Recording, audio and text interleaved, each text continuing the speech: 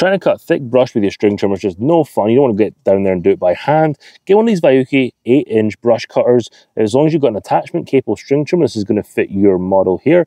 When you get this in the box, you do have to assemble this uh, cutter head here to the shaft, but that's really easy to do. You just have to slot it in here, line up the two arrows and tighten up the two bolts down here, and you're good to go. Using your brush cutter, you just need to assemble it to the top half of your attachment capable weed eater. You'll notice there's a little pin here. Now you need to push this in until it slots into one of the holes. That's how it's going to be held in place. So line this up, push it in. Here, click into place, turn it over. You see it here. It's slotted right in and we'll just turn this knob to tighten things up.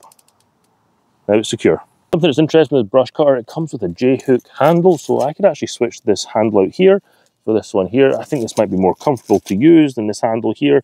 Um, I might do that at another point in time, but for now I'm going to be using this handle that came with my Ryobi Weed Eater.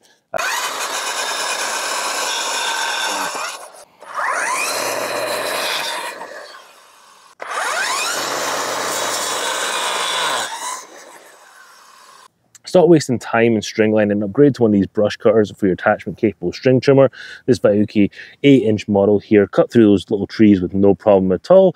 So any other thin brush like that, it's going to just chew right through. So I really recommend you get this model right here.